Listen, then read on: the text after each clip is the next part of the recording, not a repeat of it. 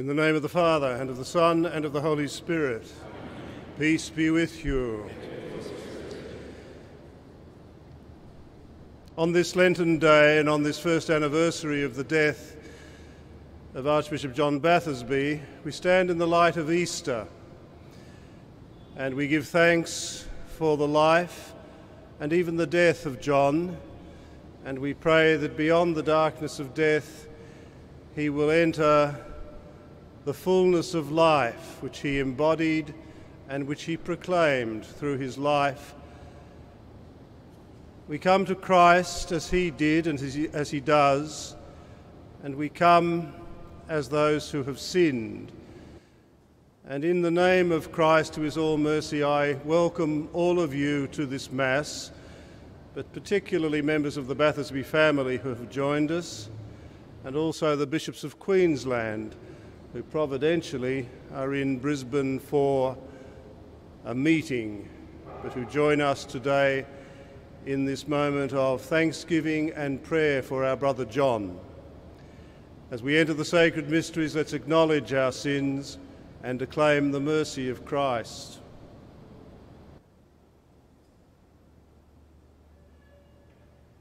I confess to Almighty God and to you, my brothers and sisters, that I have greatly sinned in my thoughts and in my words, in what I have done and in what I have failed to do, through my fault, through my fault, through my most grievous fault. Therefore I ask, Blessed Mary, ever Virgin, all the angels and saints, and you, my brothers and sisters, to pray for me to the Lord our God. May Almighty God have mercy on us, forgive us our sins, and lead us to everlasting life. Lord, have mercy. Christ, have mercy. Lord, have mercy. Let us pray.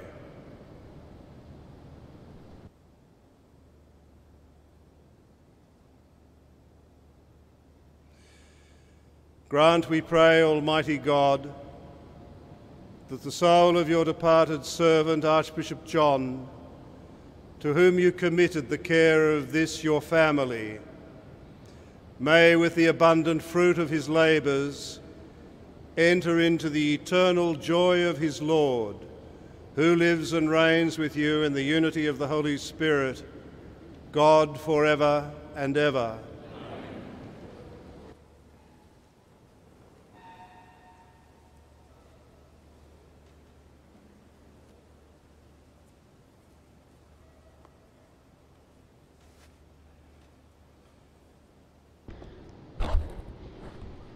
A reading from the prophet Daniel. Azariah stood in the heart of the fire, and he began to pray. Oh, do not abandon us forever for the sake of your name. Do not repudiate your covenant. Do not withdraw your favour from us for the sake of Abraham, your friend, of Isaac, your servant, and of Israel, your Holy One, to whom you promised descendants as countless as the stars of heaven and as the grains of sand on the seashore. Lord, now we are the least of all the nations. Now we are despised throughout the world today because of our sins.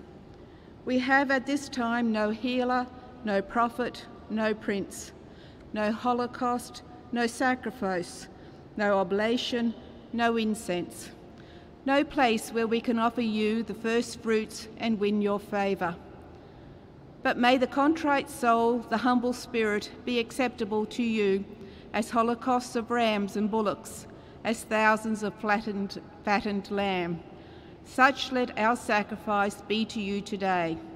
And may it be your will that we follow you wholeheartedly, since those who put their trust in you will not be disappointed. And now we put our whole heart into following you, into fearing you and seeking your face once more. Do not disappoint us. Treat us gently, as you yourself are gentle and very merciful. Grant us deliverance worthy of your wonderful deeds. Let your name win glory, Lord. The word of the Lord.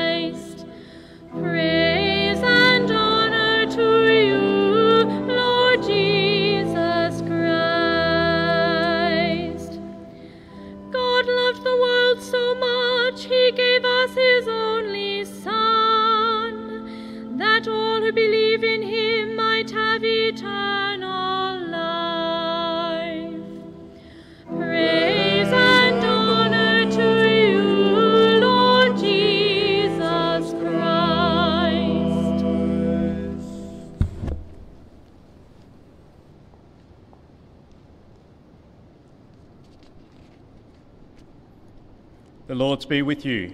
And with your spirit, A reading from the Holy Gospel according to Matthew. glory to you.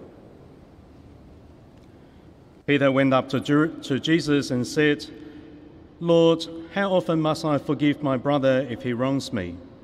As often as seven times? Jesus answered, Not seven, I tell you, but seventy seven times.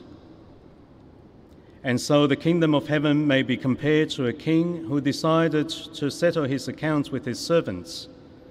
When the reckoning began, they brought him a man who owed 10,000 talents, but he had no means of paying. So his master gave orders that he should be sold, together with his wife and children and all his possessions, to meet the debt. At this, the servant threw himself down at his master's feet. Give me time, he said, and I will pay the whole sum. And the servant's master felt so sorry for him that he let him go and cancelled the debt. Now, as the, this servant went out, he happened to meet a fellow servant who owed him 100 denarii. And he seized him by the throat and began to throttle him. Pay what you owe me, he said. His fellow servant fell at his feet and implored him, saying, Give me time, and I will pay you. But the other would not agree. On the contrary, he had him thrown into prison till he should pay the debt. His fellow servants were deeply distressed when they saw what had happened, and they went to their master and reported the whole affair to him. Then the master sent for him. You wicked servant, he said, I cancelled all that debt of yours when you appealed to me. Were you not bound then to have pity on your fellow servant, just as I had pity on you? And in his anger, the master handed him over to the torturers till he should pay all his debt. And that is how my heavenly Father will deal with you unless you each forgive your brother from heart. The Gospel of the Lord. Praise to you, Lord Jesus Christ.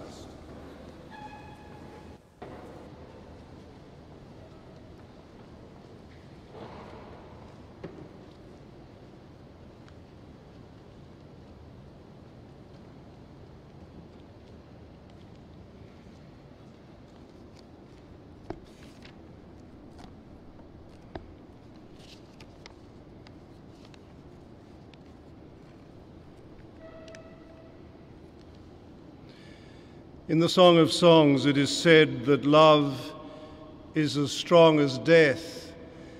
But in the light of Easter, we go further than the song, because we say, in fact, by gathering in a moment like this, that love is in fact stronger than death.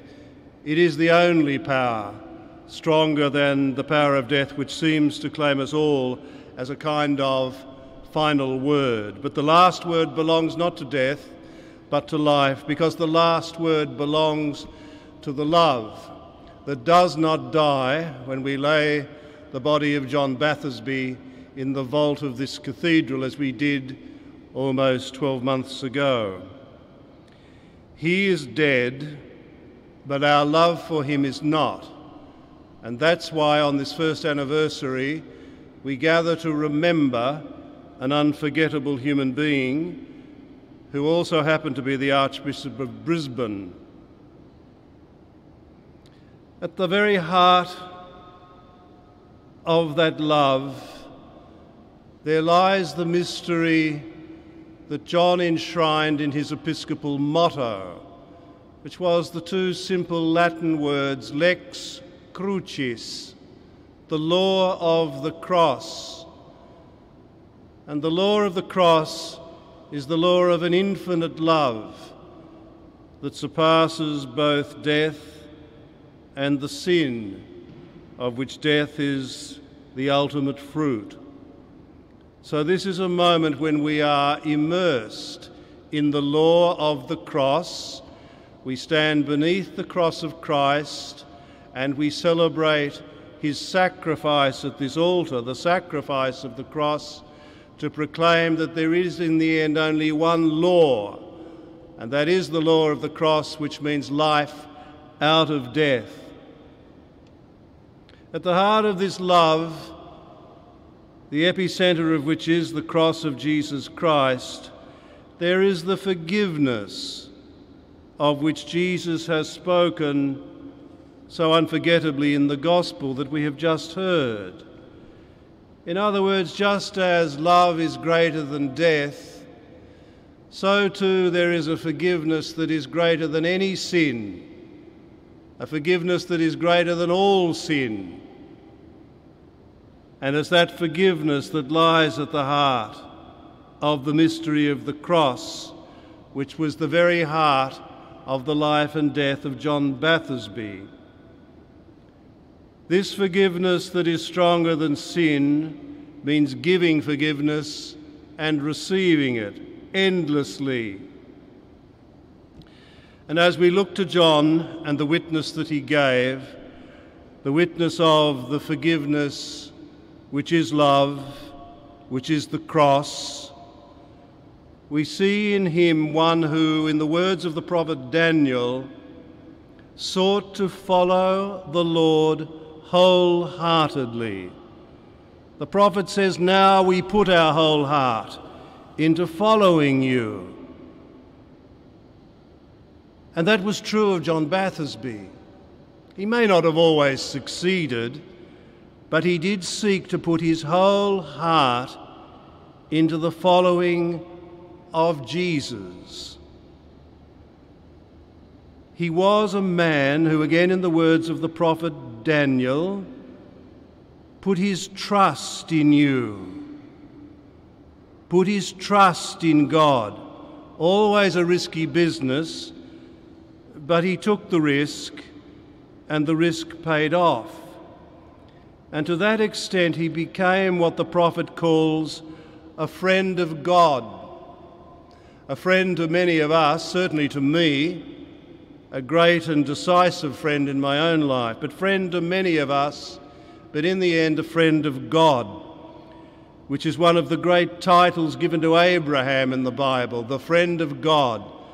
So, John Bathersby, insofar as he was a friend of God, was a true son of Abraham who knew what it was to put his trust in God against all the odds. Therefore, here today, we not only remember this memorable man and bishop, but we pray for him in this cathedral that was his. And our prayer is simple and deep. In the words again of the prophet Daniel, our prayer is that John, beyond death, will not be disappointed. Those who put their trust in you will not be disappointed so that we pray that John will know not disappointment, but a magnificent and barely imaginable fulfillment. That he will find that fulfillment in the God who is gentle and very merciful, as Daniel says. John knew that in the depths of his heart through life, and our prayer is this, this afternoon that he now know the fullness of that gentleness and the fullness of that mercy. So, this is the prayer that rises from the heart of the fire, the fire of mortality that stands all around us as we celebrate life, the fires of death that become the fire of life. And so we say, Eternal rest give to John, O Lord and let perpetual light shine upon him. May he rest in peace. Amen.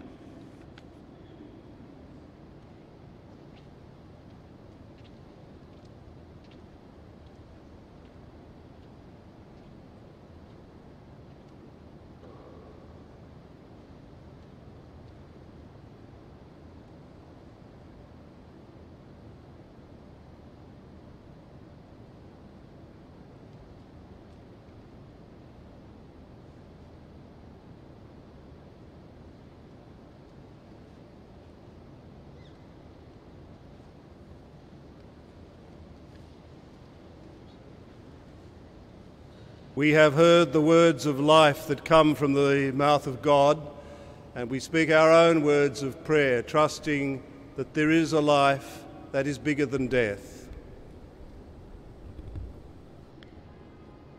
That those who find it difficult to forgive may discover in Christ's teaching and example the help they need to be reconciled. Lord, hear us. Lord, hear our prayer. That those who find themselves in situations where they have no leader, no priest or prophet, may through sincere prayer discover the Christ who is always present to them.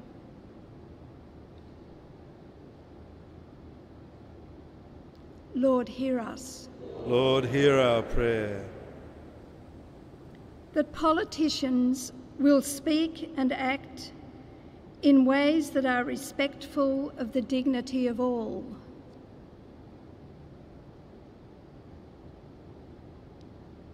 Lord, hear us. Lord, hear our prayer.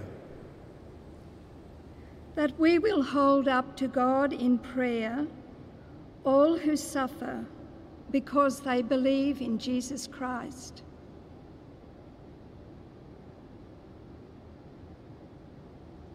Lord, hear us. Lord, hear our prayer.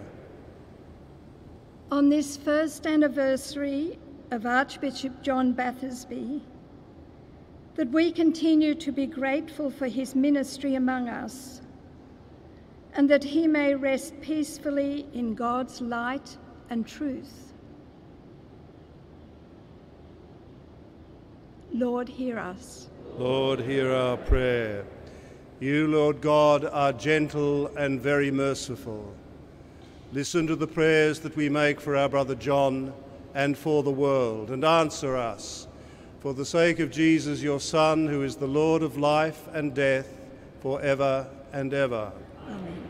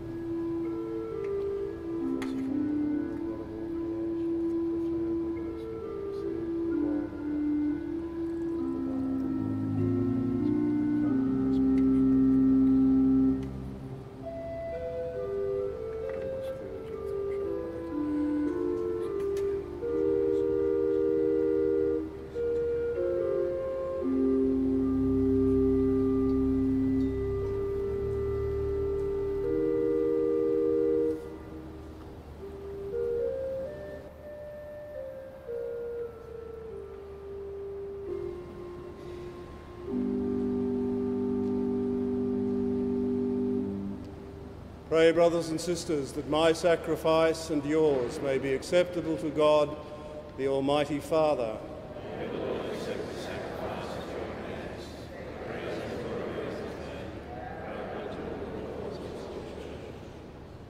We humbly beseech your boundless mercy, Lord, that this sacrifice, which your departed servant, Archbishop John, while in the body offered to you for the salvation of the faithful, may now bring him your pardon and peace.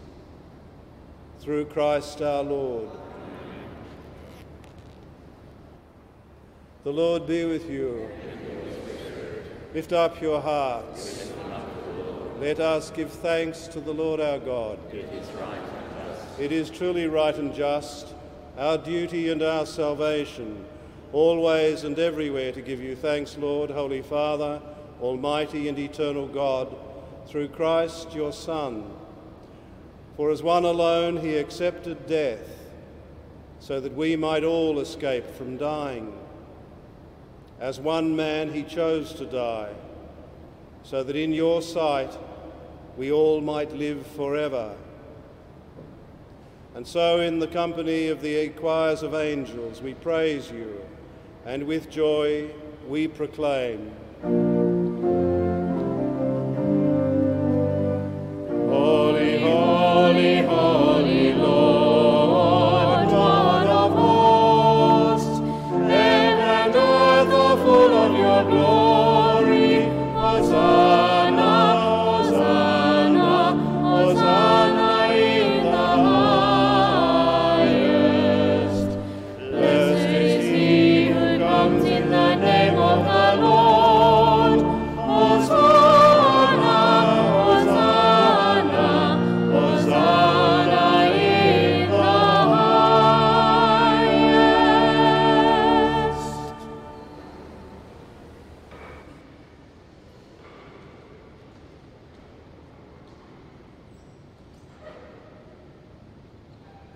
You are indeed holy, O Lord, the fount of all holiness.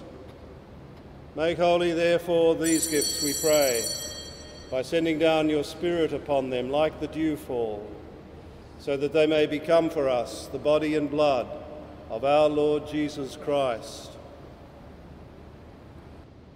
At the time he was betrayed and entered willingly into his passion, he took bread and giving thanks, broke it and gave it to his disciples, saying, Take this, all of you, and eat of it, for this is my body, which will be given up for you.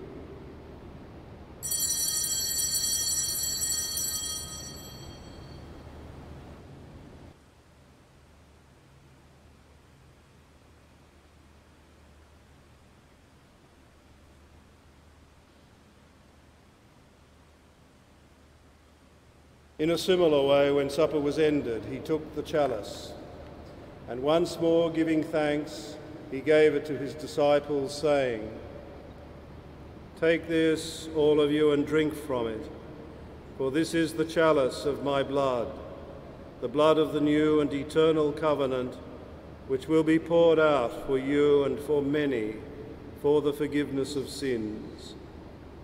Do this in memory of me.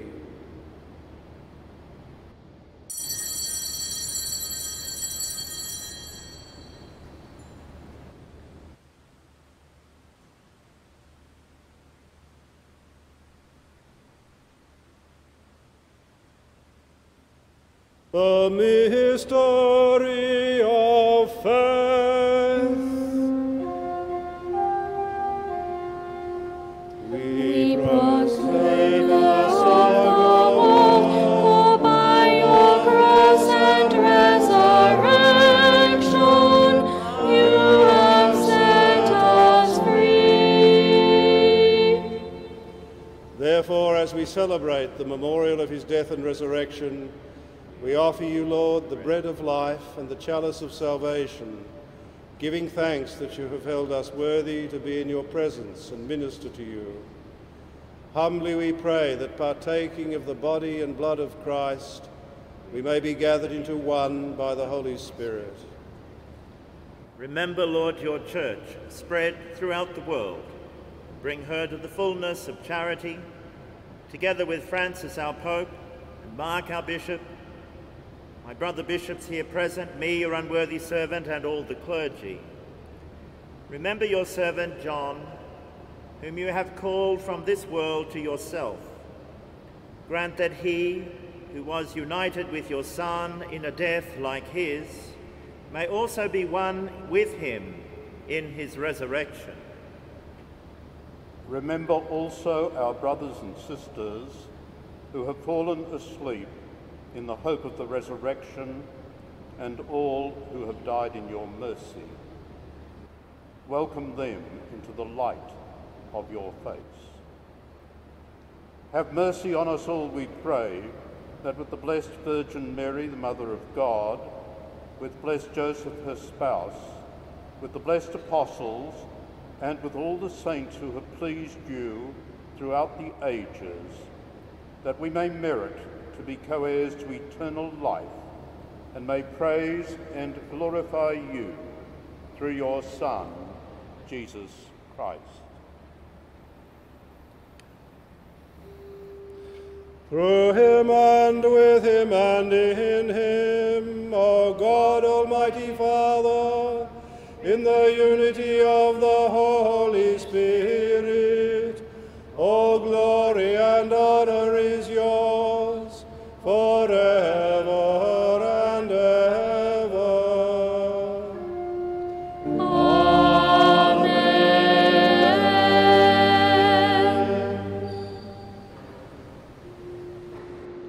At the Saviour's command and formed by divine teaching, we dare to say, Our Father,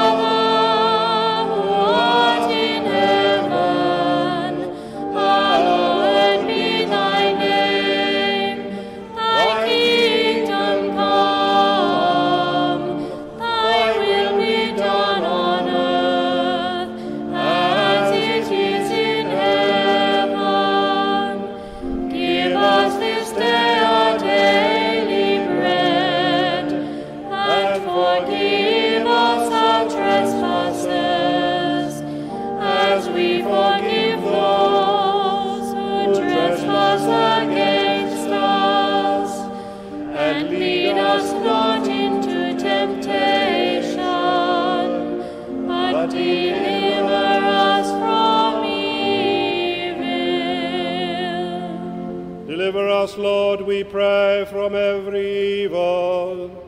Graciously grant peace in our days, that by the help of your mercy we may be always free from sin and safe from all distress, as we await the blessed hope and the coming of our Saviour Jesus Christ. For thy kingdom, the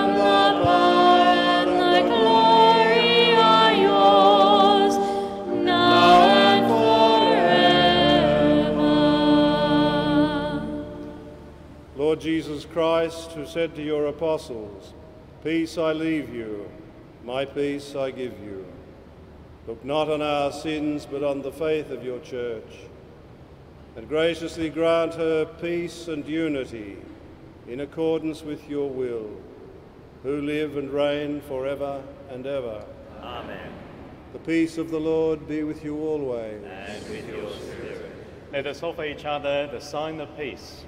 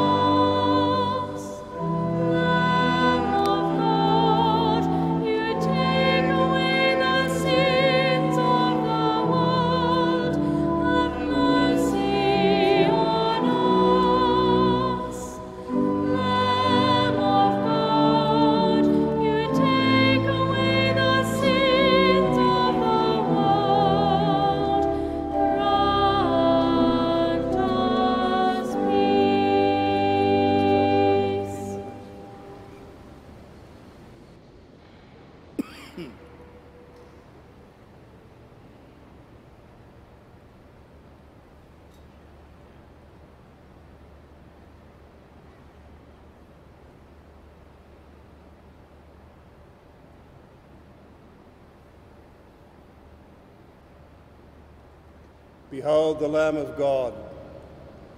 Behold him who takes away the sins of the world. Blessed are those called to the supper of the Lamb. Lord, I am not worthy that you should enter under my roof, but only say the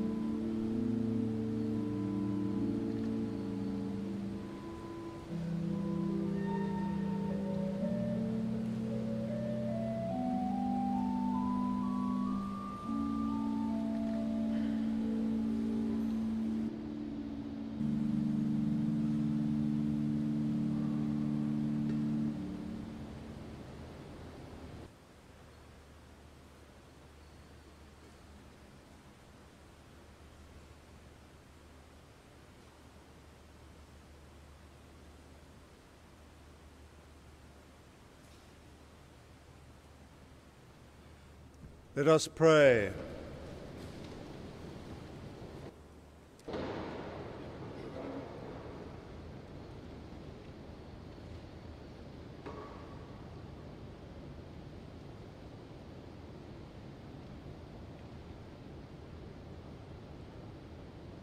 May your merciful kindness, which we have implored, O Lord, embrace the soul of our departed brother, Archbishop John, that by these sacrificial gifts he may know the eternal company of Christ, in whom he hoped and whom he preached, who lives and reigns for ever and ever. Just recently, and with an eye to this first anniversary of Archbishop John, we have refurbished in the cathedral the funerary space, by which I mean the vault where the bodies of the former bishops lie, and also on the pavement and the wall. You'll notice that the vault itself has a more embellished cover, simple but effective, I think, the design. And then we have um, placed the plaque, the memorial plaque for Archbishop John, and we have rearranged the other plaques and, and also given them a different background and we have embellished the cross that was on the wall. So we will now, on this first anniversary, we will bless these newly refurbished arrangements for the funerary space of the bishops.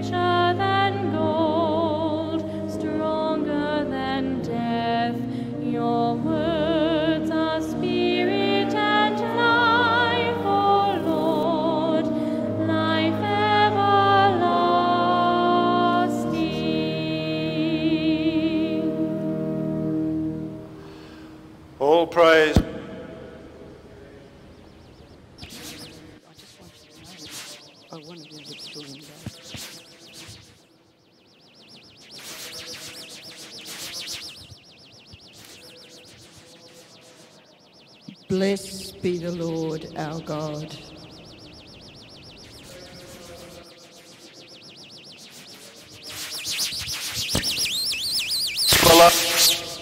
Righteousness and lead us to the dwellings of the saints. Blessed is the Lord our God. We praise you, our refuge and strength. We bless you, our God and Redeemer. Your praise is always in our hearts and on our lips. We remember the mighty deeds of the covenant. Blessed is the Lord our God.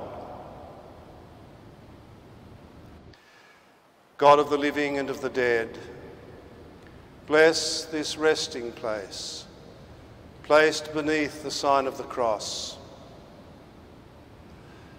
May the bodies of our brothers and bishops, James, Robert, James, Patrick, Francis, and John, and those who will follow, sleep in your peace to rise immortal at the coming of your Son.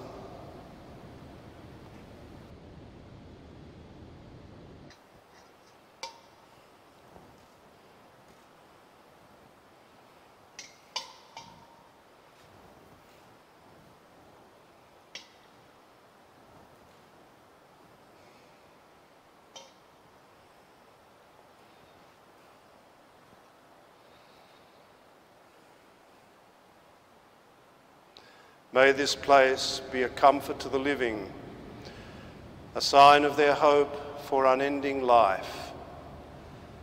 May prayers be offered here unceasingly in supplication for those who sleep in Christ and in constant praise of your mercy through Christ our Lord.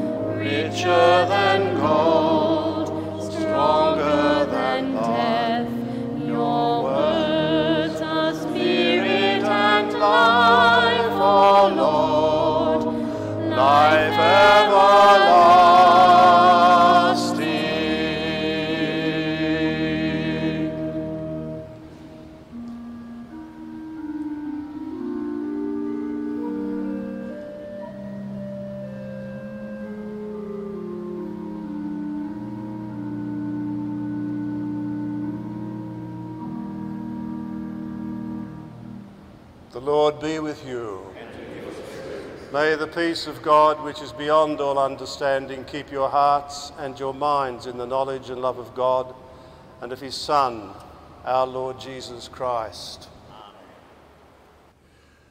And may Almighty God bless you, the Father, and the Son, and the Holy Spirit. Go in peace, glorifying the Lord by your life. Thanks be to God.